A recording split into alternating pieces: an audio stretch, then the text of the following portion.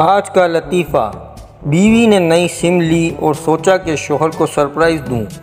बीवी किचन में गई और शोहर को कॉल की। हेलो डार्लिंग, शोहर ने हल्की आवाज़ में जवाब दिया। तुम बाद में कॉल करना, अभी कमीनी किचन में है।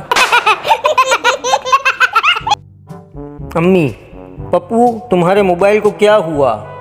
पप्पू, अम्मी ख़राब हो गया है। सुबह से कितनी बार बता चुका हूँ। अम्मी, बताते रहो।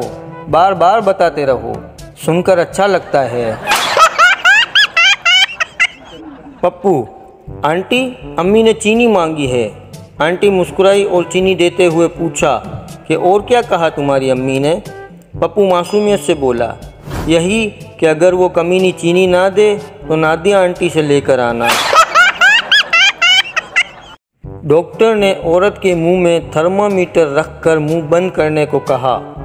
शोहर अपनी बीवी को इतनी देर खामोश देखकर बोला, डॉक्टर साहब, ये थर्मामीटर कितने का और कहाँ मिलेगा? तो हमारी वीडियोस अच्छी लगी तो लाइक और शेयर करें और चैनल को सब्सक्राइब करके घंटी के दिए हुए बटन को दबा दें ताकि आने वाली हर मज़ाया और अच्छी से अच्छी वीडियो आप तक सबसे पहले पहुँच सकें। शुक्रिया।